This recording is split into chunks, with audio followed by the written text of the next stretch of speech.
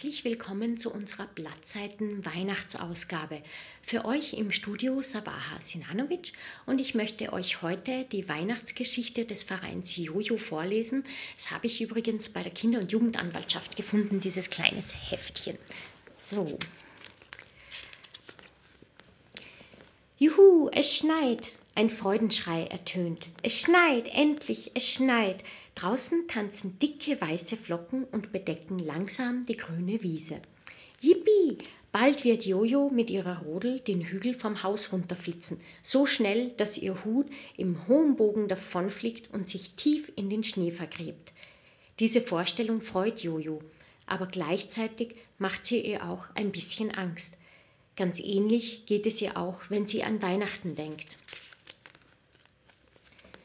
Jojo ist zehn Jahre alt. Sie heißt eigentlich Johanna, aber alle nennen sie Jojo. Gemeinsam mit ihrer Mutter wohnt sie in einem kleinen Häuschen am Stadtrand. Jojo, dieses Jahr werden wir ganz schöne Weihnachten haben. Du wirst sehen.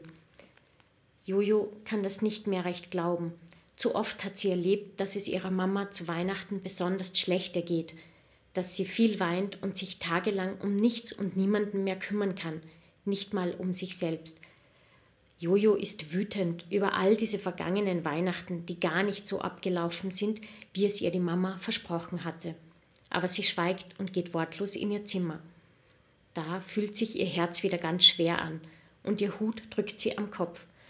Jojo zieht ihn ins Gesicht und weint. Die Hälfte der Adventskalendertüren ist bereits offen. Weihnachten kommt in großen Schritten näher. In der Schule erzählen Jojos Klassenkameradinnen und Kameraden aufgeregt von ihren Wünschen an das Christkind und den Plänen, die ihre Familien für die Feiertage haben. Jojo hält sich aus diesen Gesprächen heraus. Sie hat das Gefühl, das einzige Kind zu sein, das in einer Familie lebt, in der nicht alles so toll läuft. Noch nie hat sie mit jemandem über Mama gesprochen. Es ist Jojos Geheimnis, dass ihre Mama Tage und Wochen lang kaum einmal vom Bett aufsteht und sich nicht um Jojo oder um den Haushalt kümmern kann. Keiner weiß, dass Jojo dann einkaufen geht, wäscht, Spaghetti kocht und die Mülltonnen jeden Dienstag auf die Straße stellt und dass Mama niemanden sehen will und Jojo nicht einmal die Oma anrufen darf, um sie zu bitten, ihr ein bisschen zu helfen. So ist das oft bei ihnen zu Hause und um Weihnachten ist es immer besonders schlimm. Aber auf einmal ändert sich alles. Naja, nicht alles, aber vieles. Am letzten Donnerstag vor Weihnachten kommt nach dem Unterricht Jojos Lehrerin, Frau Schönlinger, auf sie zu und bittet sie, Jojo, könntest du bitte mit in das Besprechungszimmer kommen? Jojo fürchtet sich ein bisschen. Sie hat Angst, bei ihren Hausaufgaben sei nicht alles in Ordnung. Dabei bemüht sie sich immer, alles gut und richtig zu machen, damit Mama nicht auch noch mit ihr und der Schule Sorgen hat. Im Besprechungszimmer sitzen bereits Jojos Mama und ihre Oma. Was ist denn jetzt los? fragt sich Jojo. Frau Schönlinger beginnt das Gespräch. Jojo, ich habe das Gefühl, dass es dir in letzter Zeit nicht gut geht. Du bist eine sehr gute und fleißige Schülerin, aber du wirkst oft sehr traurig und bedrückt. Ich habe deine Mama und Oma hierher gebeten, damit wir darüber sprechen können, was du auf dem Herzen hast. Jojo ist überrascht. Sie wollte auf keinen Fall, dass irgendjemand etwas von dem mitbekommt, was zu Hause passiert. Vor lauter Schreck rutscht ihr der Hut tief ins Gesicht. Jojos Mama scheint zu merken, wie es Jojo geht. Jojo, du musst niemandem mehr etwas vorspielen. Ich habe Frau Schönlinger erzählt, dass ich Depressionen habe und es mir oft sehr schlecht geht. Sie weiß, dass du dann meine Arbeit machen musst und dass du einsam und traurig bist.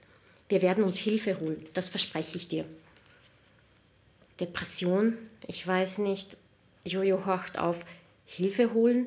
Na okay, aber was meinte Mama mit Depression? Ich weiß nicht, stammelt Jojo. Da ergreift Jojos Oma das Wort. Deine Mama ist krank, Jojo. Aber es ist nicht ihr Körper, der nicht richtig funktioniert, sondern ihre Psyche. Sie fühlt sich oft müde und kraftlos, weil ihre Psyche krank ist. Es ist sehr wichtig für euch beide, dass Mamas Krankheit behandelt wird. Mama wird zu einem Arzt, einer Ärztin oder zu einem Psychologen oder einer Psychologin gehen, um sich Hilfe zu holen und zu lernen, wie man mit Depressionen umgehen kann. Jojo überlegt, hm, eine Krankheit soll das also sein, die Mama so traurig und müde macht. Jojo versteht noch nicht so recht, was Oma meint. Frau Schönlinger ergänzt, nicht nur für deine Mama gibt es Hilfe, Jojo. Auch du sollst die Möglichkeit haben, mit jemandem über deine Gefühle und Gedanken zu sprechen. Ich gebe euch die Telefonnummer von einer Psychologin mit. Sie begleitet und unterstützt Kinder, deren Eltern eine psychische Krankheit haben. Es gibt nämlich viele Kinder, denen es genauso geht wie dir.